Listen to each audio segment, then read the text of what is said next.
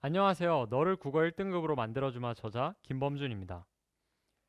갑자기 모르는 얼굴의 사람이 이렇게 나와가지고 자기소개를 하니까 뭔가 당황스러우셨을 것 같은데요. 그래서 제가 어떤 사람인지 먼저 설명을 드린 뒤에 이 9일만이라는 책에 대해서 설명을 좀 해보도록 하겠습니다. 먼저 이 14시간, 14시간이라는 키워드는 학창시절에 제 별명과도 같은 키워드였어요. 제가 고등학교 1학년 때, 2학년 때, 3학년 때까지 가면서 정말 하루에 이제 학교 수업 듣는 시간까지 포함을 한다면 14시간 정도를 쉬지 않고 공부를 했었습니다. 정말 주변 사람들도 다 인정할 정도로 책상에 앉아 있는 시간, 즉 이 14시간을 전부 다 집중하지 못했지만 책상에 앉아 있는 시간은 거의 맨날 14시간이 넘었었어요. 그럼에도 불구하고 저는 고3 때 수능에서 국어 3등급을 받게 됩니다. 제가 국어에만 정말로 유독 신경을 많이 써서 공부를 했는데도 이 3등급이 나온 거였었어요. 그러니까 왜 제, 제가 사실 수학이랑 영어는 그래도 2등급까지도 나오고 1등급도 간간히 나와서 괜찮았었는데 이 국어라는 과목이 3등급 위로 절대 올라가지가 않는 거예요. 제가 여러분들 지금 머릿속에 있는 선생님들 싹 다 들어봤습니다. 전 사이트 선생님들 다 들어봤고요. 국어 공부 시간만 하루 6시간을 투자했었어요. 여러분들이 알고 계시는 문제집 다 풀었었고요. 그러는데도 성적이 하나도 안 올랐었습니다. 계속 3등급 이상으로는 절대 올라갈 수가 없었어요. 그래서 결국 이제 수능까지 망치고 재수를 결심하게 되는데요. 재수를 결심하고 나서도 성적이 계속 오르지 않았어요. 재수 때는 얼마나 더 공, 국어 공부에 더 투자를 많이 했겠어요. 국어 공부에만 진짜 6시간, 7시간을 투자를 했었습니다. 왜냐면 제 고3 때 제 발목을 잡았던 게 국어였으니까 이 국어만 잡으면 된다는 생각으로 정말 열심히 공부를 했었어요. 그런데도 재수 때 3월 학력평가까지 성적은 잡히지 않았습니다. 3월 학력평가에서도 3등급을 받았고요. 그렇게 계속 방황을 하고 있었어요. 근데 제가 그 재수할 때 3월에 딱 코로나가 터집니다. 그래서 이 그때 제가 이 재수학원을 안 가게 되고 독서실에 가게 되면서 이제 여기저기 사이트도 둘러보게 되고 이제 공부 방법이 안 맞다는 거 알았으니까 다른 방법을 찾아야 될 것 같은데 다른 방법이 있을 것 같은데 하면서 여기저기 돌아다녔어요. 그렇게 돌아다니다가 오르비라는 사이트를 보게 됐는데 그 오르비라는 사이트에서 코로나 때문에 힘들어하는 학생들을 위해서 혜택을 줬었는데 이제 전 강좌를 일주일 동안 무료로 학생들에게 볼 수 있게 만들어 놨었습니다.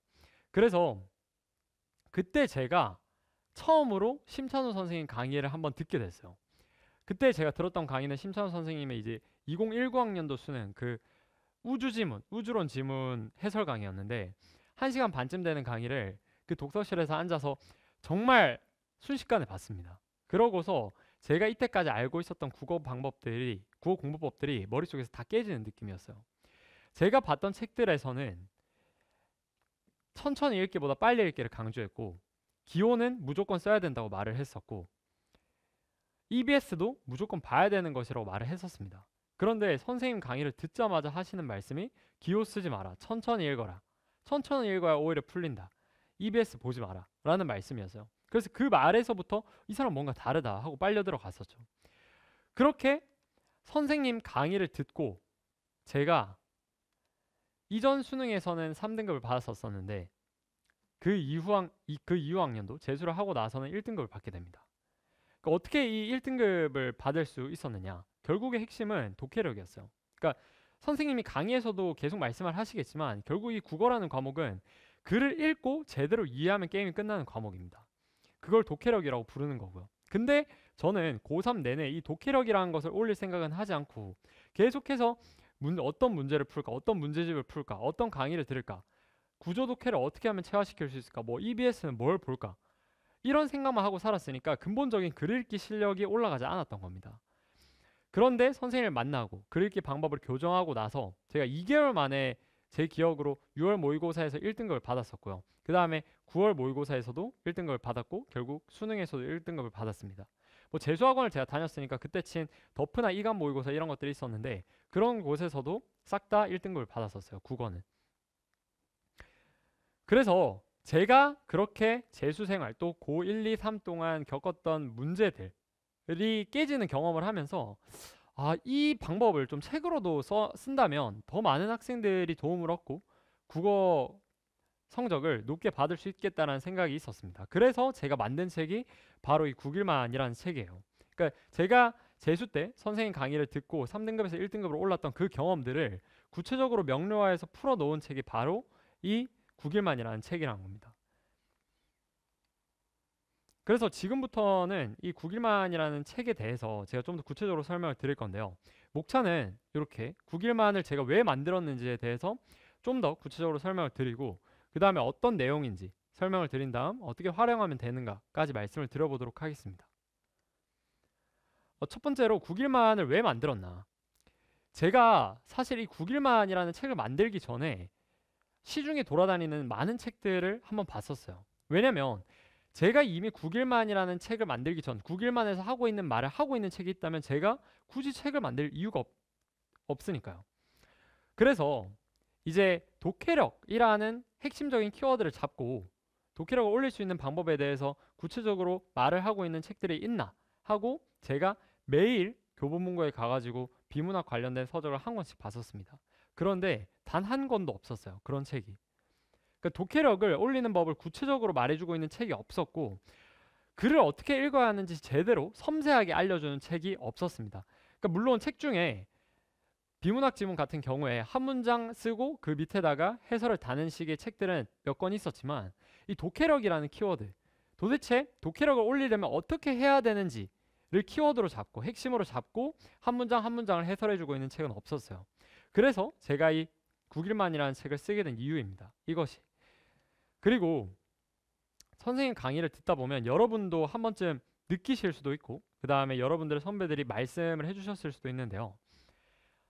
체어가 어렵다 또는 뭐 수업을 따라가기 힘들다 또 복습을 어떻게 해야 할지 모르겠다 라는 이제 평들이 가끔씩 나오긴 합니다. 선생님이 정말 쉽게 강의를 설명해 주시긴 하지만 어쩔 수 없이 이렇게 못 따라오는 학생들이 생길 수밖에 없어요. 그래서 근데 저도 사실 제가 3등급일 때는 선생님 강의를 100% 온전히 이해하지 못했었거든요. 그리고 선생님이 말씀해 주시는 비문학 뭐 방법이나 아니면 문학 감성 방법들을 보면서 내가 저걸 체화할 수 있을까라는 의문이 어, 선생님 수업을 듣고 한 한 달까지는 확신이 안 섰던 것 같아요. 그 다음에 이제 선생님이 이제 수업 도중에 이제 생각하라고 펜을 내려놓으라고 하시거든요. 그러니까 수업을 듣고 나면 책에 써져 있는 게 아무것도 없어. 그러니까 복습을 어떻게 해야 될지도 몰랐던 거죠, 저는. 그래서 그런 부분들. 그래서 제가 약간의 갈증이 있었는데 그런 부분까지들 그런 부분까지도 해소하고자 이 9일만을 만든 의미도 있습니다. 그래서 제가 선생님 수업을 들으면서 3등급에서 1등급까지 올라가면서 아, 이런 책이 있었다면 좀 더 좋았을 것 같다. 이런 부분은 좀 더 글로써 구체적으로 풀어줬으면 좋았을 것 같다 하는 부분들을 9일만이라는 책에 담았고요. 그래서 이 9일만을 만들면서 선생님 강의를 같이 본다면 체화 시기를 두 배 이상 단축시키겠다. 두 배 이상 단축이 된다는 게 아니고 단축을 시키겠다는 마음으로 썼다는 거고요. 그 다음에 수업 이해도도 두 배 상승을 시키겠다. 그 다음에 복습 방향도 명확하게 주겠다라는 마음을 가지고 쓴 책입니다. 그래서 정말 지금 이 영상을 보신 여러분들 중에 3, 4등급 학생들도 있을 거잖아요. 그 학생들이 선생님 강의를 처음 따라가실 때 어, 제가 겪었던 그런 고민들, 어려움들을 조금이나마 수월하게 해결할 수 있도록 하기 위해서 만든 책이 이 9일만이라는 책이라는 겁니다. 근데 이 9일만이라는 책이 제가 이게 만들었다 해서 끝이 아니라 정말로 이 책으로 효과를 보는 학생들이 있어야 될 거 아니에요.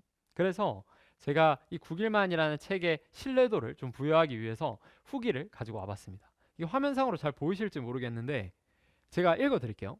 이번에 2023 수능 입, 수능 치르고 입시를 마무리하고 있는 학생인데요. 9일만이라는 이 책과 심차원 선생님의 강의가 정말 제 인생을 바꿨습니다.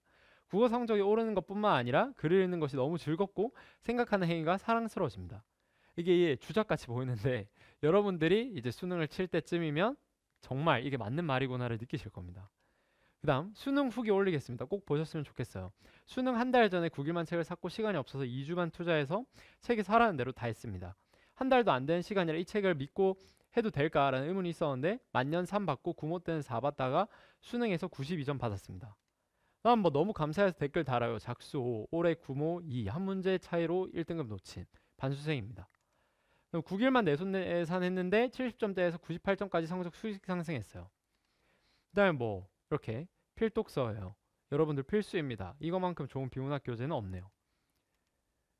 그 다음에 4등급에서 1등급으로 올랐다. 그 다음에 뭐 읽고 비문학 만점을 받았다. 이런 식으로 후기들이 많이 쌓여 있는 책입니다. 그래서 제가 정말 그냥 아무 책이나 지금 자신 있게 말을 하고 있는 것이 아니라 정말 이 책을 가지고 이 전년도 수능에서 성과를 봤던 학생들의 후기를 가지고 와서 정말 이 책이 여러분들 공부에 있어서 도움이 되는 책이라는 걸 말씀드리고 싶었어요.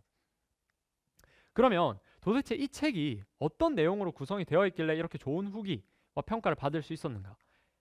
의문이 드시겠죠? 그거에 대해서 지금 설명을 해드리겠습니다. 이 책은 크게 독해편과 기출편이라는 두 가지 항목으로 나눠져 있는데요. 독해편에서는 이제 여러분들이 앞으로 서, 심천 선생님 강의에서 들으실 비문학과 관련된 개념들, 풀이법들을 제가 14습관이라는 이름으로 명료하게 개념 정리를 해놓은 부분입니다. 그래서 챕터 1을 보시면 여기 이제 14습관을 제가 이렇게 쭉 적어 놓은 건데요. 뭐 수능 5분 안에 20문장 외우기 게임이 아니다. 사전은 함부로 뛰지 않는다. 이런 식으로 심찬원 선생님이 강의에서 말씀하시는 비문학 을 풀면서 우리가 가져야 되는 생각들을 제가 명료하게 14가지 습관으로 만들어냈습니다. 그래서 요 습관들을 읽으면서 읽으면서 또 체화를 하시면 비문학을 푸실 때 훨씬 더 수월하게 푸실 수 있게 제가 구성을 해 놓았어요. 그 다음에 챕터 2에서는 제가 이제 고1 때부터 재수를 하면서 시험을 정말 100번 넘게 쳐봤는데 그렇게 100번 넘게 시험을 치면서 어떻게 시험장에서 태도를 가져야지 가장 좋은 성적이 나올 수 있는지에 대해서도 이제 챕터 2에서 말씀을 드리고 있습니다. 그다음에 챕터 3에서는 이 책을 덮고 9일만이라는 책을 덮고 이제 혼자 공부하실 때 어떤 식으로 공부를 하셔야 되는지까지 복습 방향을 명확하게 말씀드리고 있고요. 그 다음에 기출편에서는 이제 14습관을 내가 이해를 했어. 내가 제대로 인지를 했고 이제 내가 14습관을 제가 제대로 이해를 했어요. 그러면 이 14습관을 이해한 거에서 그치는 게 아니라 실제로 기출편을 보면서 적용을 해보는 시간이 필요하거든요. 그래서 이 14습관이라는 것이 정말로 수능에서 나왔던 최고난도 지문에서도 통하는 것인가에 대한 의문점을 해소해 드릴 겁니다. 그러니까 이 지문들은 그렇다 보니까 좀 더 어려울 수밖에 없어요. 그러니까 왜냐하면 이 책으로만으로도 제가 여러분들을 1등급 받을 수 있게 하기 1등급을 받을 수 있게 만들기 위한 마음을 가지고 쓴 책이기 때문에 다소 쉬운 지문들은 뺐고 수능에서 역대 가장 오답률이 높았던 지문들만 선별해서 가지고 왔습니다. 인문, 과학, 기술, 경제, 법으로 나눠져 있고요. 각 항목마다 두세, 아, 세네 지문이 들어가 있습니다. 그러니까 이 세네 지문에서는 제가 앞서 배웠던 14습관을 어떤 식으로 적용을 하면서 읽었어야 됐는지 어떻게 읽었어야지 이 지문들을 다 맞출 수 있었는지 아주 상세하게 설명을 해놓고 있어요. 예를 들어 첫 번째 2021 학년도 수능 북학론인데 이 북학론 지문을 제가 해설을 할 때 정말 한 문장 문장마다 해설을 다 달아놨습니다. 그 왜냐면 사실 이제 공부를 할 때 우리가 여러분들이 중요하게 생각하시는 것이 문제 해설인데 문제 해설보다 더 중요한 것은 지문 해설이에요. 왜냐하면 앞으로 선생님이 수업을 뒤에 하시면서도 말씀을 하시겠지만 결국에는 지문을 100% 온전히 이해하면 문제는 알아서 풀리는 거거든요. 그래서 문제집의 경우에도 문제 해설보다는 지문 해설에 좀 더 초점이 맞춰져 있어야 합니다. 지문을 해, 그래서 지문을 제가 정말 한 문장 문장마다 보면서 여기에선 이 단어가 중요했고 왜 중요했냐면 이러하기 때문이다. 이 문장을 읽고서는 이런 생각까지 했었어야 됐고 이렇게까지 사고를 진행을 했어야 됐다라는 것들을 정말 상세하게 모든 마지막 문장까지 다 풀어서 써놓고 있습니다.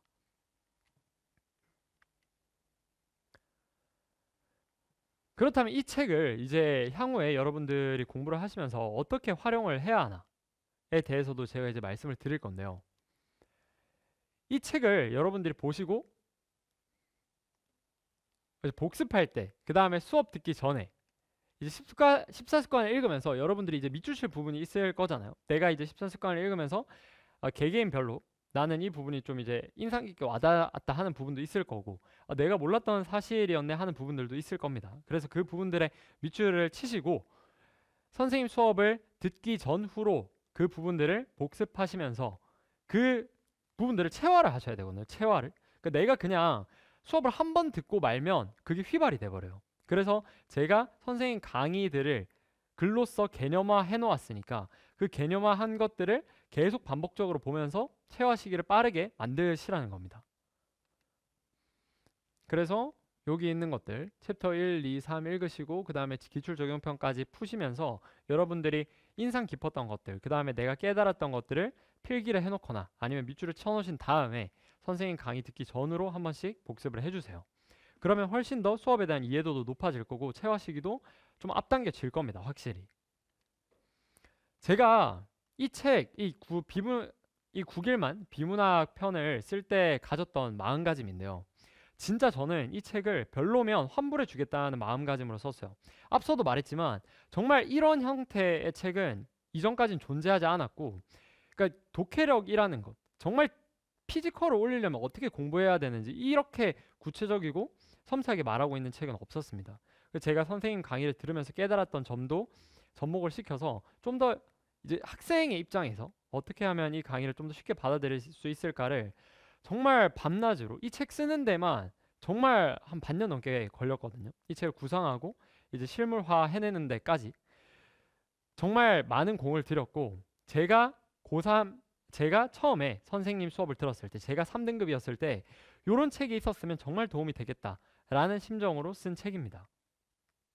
여러분들이 그 다음에 이 책을 읽으면서 어, 의문점이 드실 수가 있어요. 책 내용에 대해서. 그런 내용들은 이제 네이버에 솔로 리딩이라고 치시면 카페가 있거든요. 거기에 이제 국일만 자주 하는 질문들도 모아놨고 그 다음에 거기에 가입을 하셔서 질문을 남겨주시면 제가 수시로 확인을 하고 국일만을 여러분들 읽으면서 이제 의문을 품으시는 분들의 부분들에 대해서 제가 해답을 드릴 예정입니다. 그 다음에 이제 9일만 비문학편에 이어서 문학편도 함께 나오게 되는데요. 문학편도 선생님께서 앞으로 이제 문학을 가르치실 때 말씀하시는 내면 세계 공감, 그다음에 심상 떠올리기 이런 것들을 중점적으로 좀 더 개념화해 가지고 여러분들이 쉽게 체화할 수 있게 만들어 놓은 개념서라고 생각을 해 주시면 돼요. 그러니까 제가 정말 이 비문학 편보다 더 오래 걸린 게 문학 편이었어요. 사실 문학이라는 것이 해석의 다양성 이런 문제도 있고 그다음에 어 좀 단어로서 표현하기가 애매한 것들이 많습니다. 뭐 공감, 뭐 연대 이런 것들 공감 뭐 유대 연대 이런 개념들조차도 되게 추상적인 단어여서 이런 것들을 여러분들이 납득할 수 있을 만큼 구체적으로 풀어내는데 정말 많은 고민을 했고요. 근데 쉽게 풀어냈습니다. 쉽게 풀어냈고 이 9일 9일만 문학편의 경우에도 선생님의 문학 강의를 들으면서 여러분들이 의구심이 드는 포인트들이 있을 거예요. 이게 정말 체화가 되는 건가? 그 다음에 어, 이렇게 내가 해석을 하고 있는데 맞는 건가 하는 포인트들이 있을 텐데 제 책을 보면서 이 9일만 문학편을 보면서 개념을 한 번 더 되짚어 보시고 그 다음에 선생님 수업에서 배운 것들을 복습하는 겸으로 읽어보시면 문학에 있어서도 여러분들이 체화하시는 시기가 훨씬 더 앞당겨지실 거라고 저는 생각을 해요. 그래서 제가 이제 마지막으로 드리고 싶은 말은 정말 이 책은 9일만 비문학편, 문학편 둘 다 제가 고3 때, 아, 제가 이게 3등급이었을 때 정말 이런 책들이 있었으면 내가 좀 더 빨리 1등급이 됐었겠다. 또는 선생님 수업을 듣지 않았을 때 고3이었을 때도 이 책들이 있었으면 내가 좀 더 빨리 국어에 대해서 깨닫고 좀 더 빠르게 1등급이 될 수 있었 있지 않았을까 하는 마음에서 정말 진심으로 쓴 책이고요. 여러분들에게 도움이 안 될 책이었으면 정말 쓰지도 않았을 겁니다. 그래서 정말 지금 성적 국어 때문에 고민하고 계신 3, 4등급 학생분들이 보시면 정말로 많은 도움을 받으실 거라고 전 생각을 해요. 네, 그러면 여기까지 제 9일만 책에 대한 간단한 소개였고요. 네, 이 이렇게 9일만 책에 대한 설명은 마치도록 하겠습니다. 감사합니다.